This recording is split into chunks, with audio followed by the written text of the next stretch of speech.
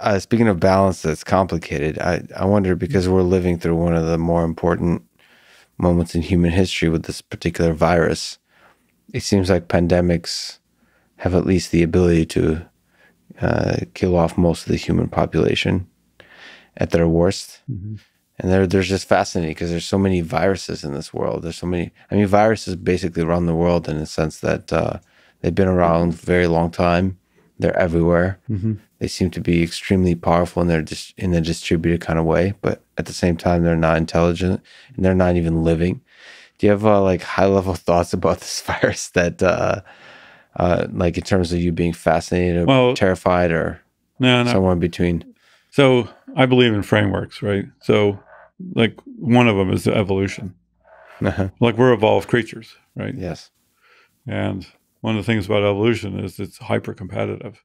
And it's not competitive out of a sense of evil. It's competitive in a sense of there's endless variation and variations that work better win. And, and then over time, there's so many levels of that competition.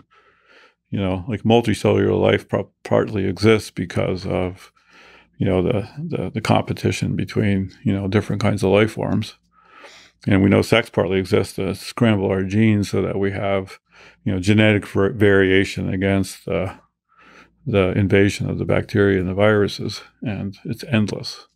Like i read some funny statistic like the density of viruses and bacteria in the ocean is really high and one third of the bacteria die every day because of viruses invading them. Like one third of them Wow. Like, like I don't know if that number is true, but it was like, it's, like there's like the amount of competition and what's going on is stunning.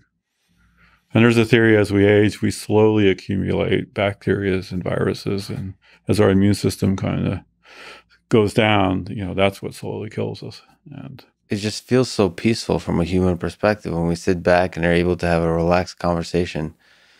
Uh, yeah. and and there's wars going on yeah, out yeah. there. Like right now, you're, you're you harboring how many bacteria and you know the ones many of them are parasites on you yeah. and some of them are helpful and some of them are modifying your behavior and some of them are you know it's just really it's really wild but you know this particular manifestation is unusual you know in the demographic uh, how it hit and the political you know right. response that it engendered and you know the healthcare response it engendered and the technology it engendered it's kind of wild yeah, the communication on Twitter that it, it uh, led every to, level, all that kind of stuff at every every single level. Yeah, but but what usually kills life, the big extinctions are caused by um, meteors and volcanoes.